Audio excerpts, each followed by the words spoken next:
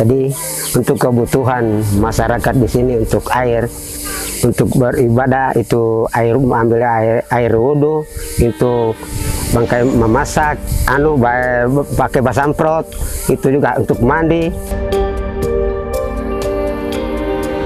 Jarak untuk mengambil air untuk masyarakat jaraknya 4,6 km. Jalan menuju mata air, jalan setapak, melintasi lereng gunung dan medan yang sangat sulit. Kami mengajak seluruh wakif untuk berwakaf melalui WA untuk mewujudkan terwujudnya air bersih di Dusun Nogolau.